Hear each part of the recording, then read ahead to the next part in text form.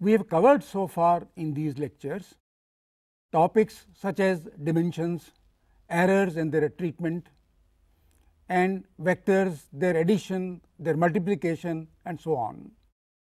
Today, we intend to concentrate on graphs, the distance time graph, the velocity time graph and the acceleration time graph. We shall also see how a good graph should be drawn. So, we start with displacement. You know already the displacement is the difference between the final position vector of a body and the initial position vector of a body. I will show you here how we get the displacement. This is the initial position vector. This is the final position vector and this is the displacement vector b minus vector a. We shall denote displacement by capital S with an arrow on it, whereas the distance covered we shall show by small s. You know already that average speed is defined as the total distance covered divided by the total time taken. Now, the distance covered would depend upon the path taken as shown in this diagram. We go from A to B and we take a very meandering path and if we measure the length along this path that would be the distance travelled. Whereas, from the direct uh, arrow from A to B shows the displacement and the displacement from A to B is the positive displacement and if we take displacement from B to A it can be negative displacement. So, displacement can be positive as well as negative, whereas the distance covered is always positive. Here I show you this that you go from A to B and go from B to A, your distance covered would be twice the distance between A and B that is 2 L, whereas the displacement would be 0 because you started from A and you have come back to the point A. You know already that velocity is equal to the slope of the displacement time graph. This we did in the last lecture. Now, the slope of a linear graph is constant. It is the same everywhere. So, if the graph between displacement and time is linear, then the velocity is uniform. That means, the slope is the same everywhere. You can see how we measure the slope. We measure the slope by taking at a certain time the displacement and divided by the time taken. That is how we find the slope and if the graph is linear, the slope is constant and therefore, the velocity is uniform. However, if the graph is not linear as shown here, then the velocity at a point like p for example, is found by the slope at p that is delta s by delta t. At the point q, the slope is found again by delta s by delta t and you can see that the slopes at these two points are different. This means that the velocity is changing, it is not constant. If the velocity is not constant, then we have to define what is known as instantaneous velocity at a point and that is defined as vector v is equal to the differentiation of vector s that is d s by d t. Just like the velocity, the instantaneous speed is also defined as d s by d t. Remember the small s is for distance and capital S with an arrow on it is the displacement. And now, we have to establish a relationship between the speed and velocity. How do we do that?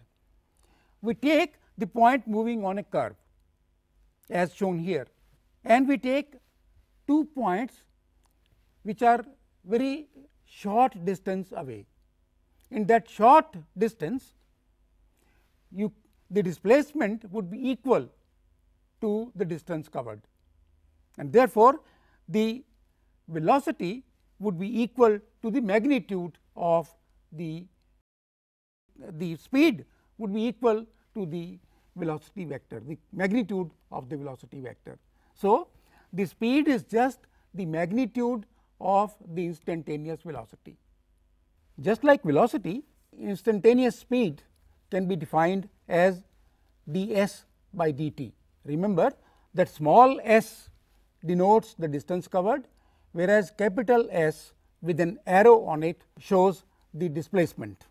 How do we relate these two quantities, the instantaneous velocity and speed? Let us take the body moving on a curve and we take two points very short time away from A to B, the distance is covered in a very short time d t. Since the distance is very short, the displacement would be equal to the distance covered. And therefore, if we now find the speed it would be equal to the magnitude of the velocity. That is d s by d t would be equal to the magnitude of d by d t of s vector. And this means that the speed is just the magnitude of the instantaneous velocity. How do we plot a good graph? It is a convention to plot the independent variable along the x axis and the dependent variable along the y axis. But what is an independent variable and what is a dependent variable? How do we decide that which quantity is independent variable and which quantity is dependent variable? Let us see it depends upon the situation. Here I have drawn uh, data from a certain experiment which was done where we found the speed of sound in a certain material as a function of temperature. You can see the temperature is increasing and the speed of sound is also increasing along with it. And in this case the change in the speed of sound is a consequence of the change in temperature. Therefore, we designate temperature as independent variable and the speed of sound as dependent variable. But remember the temperature is not always an independent variable as I said it depends upon the situation. For example, if we were considering the rise in temperature of a liquid as it is heated then the temperature would become a dependent variable. The time for which the liquid is heated would then become independent variable. So, dependent variable and independent variable they all depend upon the situation which we have at that time. Now, points to consider while drawing a graph. First, identify independent and dependent variables very clearly. Then choose scales so that the graph fills most of the available space. Scales must be convenient for plotting the points on the graph and they must be mentioned clearly on the graph itself. Remember that larger the graph that you can draw in the given space, easier it is to interpret it. Let us draw a graph and illustrate these points. I have here a data from the journey of a bus. You see that in the first column we have time say 8, 8:30 a.m., 9 a.m. and 9:30 a.m. and so on and the last column we have distance from the starting point 0 kilometer at 8 o'clock, 20 kilometer at 8:30 and so on. And we now draw a graph point by point. See that on the y axis we have taken distance which is in this case a dependent variable. On the x axis we have taken time which is in this case an independent variable and we draw each point first point, second point in that data, third point, fourth point in that data and fifth point and ultimately we join all these points by a line. This line is the graph between distance and time. And what is the use of this graph? You can see that if we need to know when the bus had covered a distance of let us say 10 kilometers, what time at that time uh, was there on the clock and you can see the time would be uh, given by this point. Similarly, we shall see when the bus was 70 kilometers away, what time was it? Again we draw a perpendicular line and read the time on the time axis. We can also extrapolate, we can find out where would the bus be at 11 o'clock. and we find that this would be at about 120 kilometers. So, the graph serves many purposes. It tells us the speed, it tells us where the bus was at a certain time or what distance it had covered at a certain time and so on. Now, we are ready to consider motion in one dimension. In one dimension, since the we have only one line uh, along which the body goes, there is no need to distinguish between the distance covered and the displacement. Therefore, we shall now take distance time graph rather than displacement time graph. And if we take distance time graph, then the velocity would be constant if the graph is linear and it would be variable if the graph is non-linear. And we draw various graphs for you to show the position of a certain body. Here the body is at rest, you can see the distance is not changing with time. Here the body is moving away from us with a uniform speed. Here the body is coming towards us, you can see the slope is negative, therefore, the speed is negative, velocity is negative, it is coming towards us. Here it is again moving away, but this slope is larger than the earlier slope along this line and therefore, the speed is higher. And lastly, we will show the speed is increasing in the graph with this red line.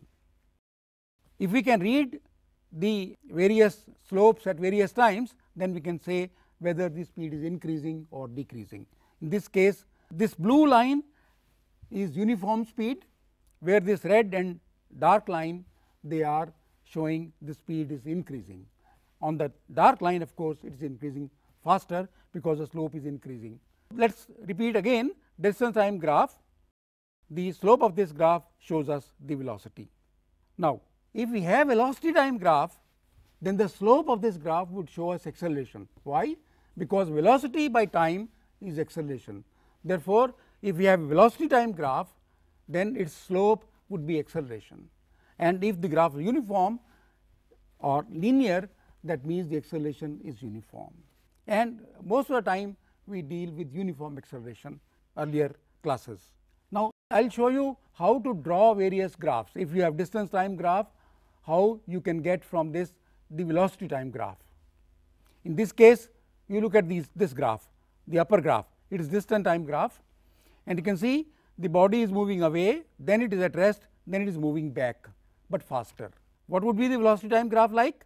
Velocity initially is constant, then the velocity becomes 0 and then the velocity becomes negative with a larger magnitude than the earlier velocity.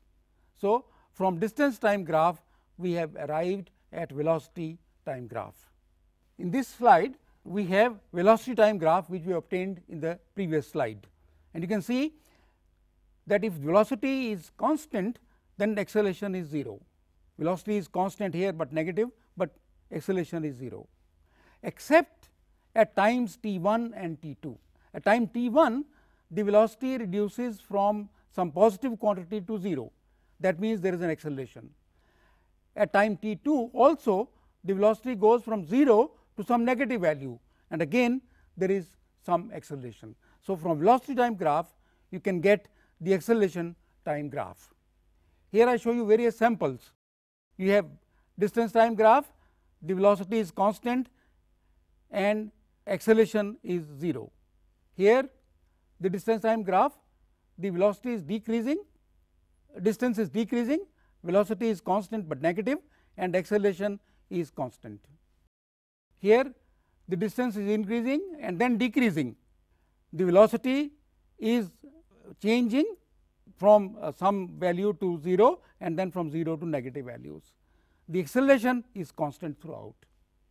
Here distance increases from some negative value and then it increases uh, non uniformly. The velocity here is constant and it here it varies and acceleration since the velocity is constant acceleration is 0 and acceleration is constant in this segment and in between there is a change in the acceleration because of the change in velocity. Here distance is decreasing and again increasing velocity is negative, but uniform in this segment velocity is constant and positive.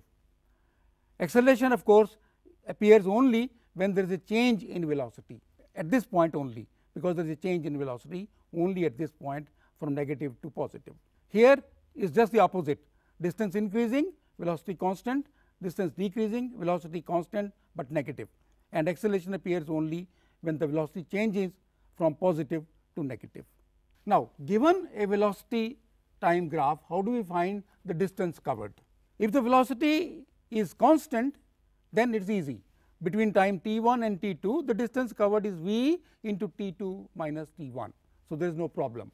But if the velocity is changing uniformly let us say, then how do you find the distance covered? For this purpose, we do this, we draw strips, very narrow strips on this graph, just like here. And for this narrow strip, we can assume the velocity to be uniform and therefore, the distance covered is the area of this strip. And we can erect many more strips of this kind. And you can see here one, another, another. And if we cover all this area by these strips, then the total area would be equal to the area of these strips. That means, the total area would be equal to the distance covered as we have shown here by covering this triangle by this mesh. So, the distance covered is equal to the area of this triangle. In general, the distance covered is equal to the area under the velocity time graph. If we have a graph, then the up to time t the distance covered is given by the area of this triangle. And what is the area of this triangle? This distance p q is equal to a t. Remember a is the slope of this graph. A acceleration is the slope of velocity time graph. Therefore, a is the slope and therefore, this distance p q is a times t and therefore, the area of this triangle is t into a t divided by half. So, it is half a t square. Now, suppose the body started with a uniform uh, initial velocity u, then the distance covered would be equal to this rectangle and this the area of this triangle which is u t plus half a t square because the body started with initial velocity u. Therefore, we draw this rectangle and draw this triangle and take the area of these two and we get the formula that the distance covered is equal to u t plus half a t square. If the velocity is changing like this, then we again take the same route.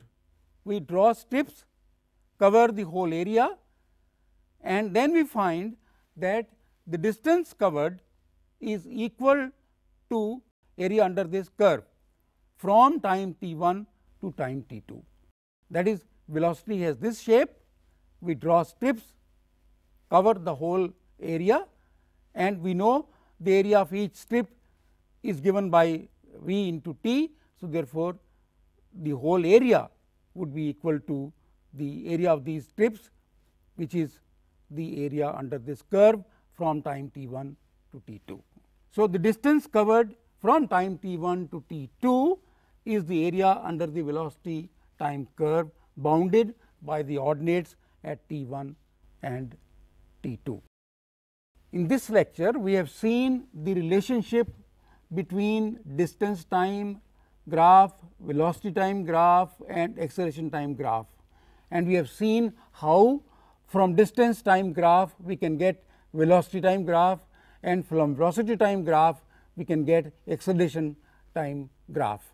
We have also seen how we can get the distance covered from certain time t 1 to certain time t 2. We have seen that this distance covered is equal to the area under the curve. In the next lecture, we shall deal with kinematic equations. Some of these equations we have derived here, we shall derive them again and then see how we can deal with problems involving kinematic equations.